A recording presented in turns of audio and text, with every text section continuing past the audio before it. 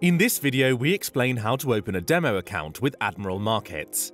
First, go to the Admiral Markets website, click Start Trading in the menu, and then click Demo Account.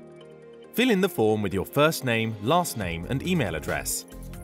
Click the blue arrow and you will then be asked to create your Traders Room password. Enter your phone number, select your country, and accept our privacy policy. You can also choose to receive news, education, and new product information by choosing to receive marketing information.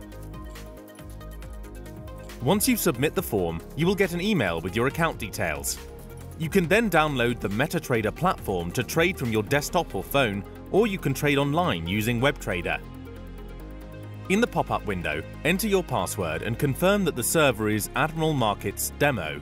Then click on OK to start trading. We wish you best of luck with your demo trading. Please feel free to contact us with any questions.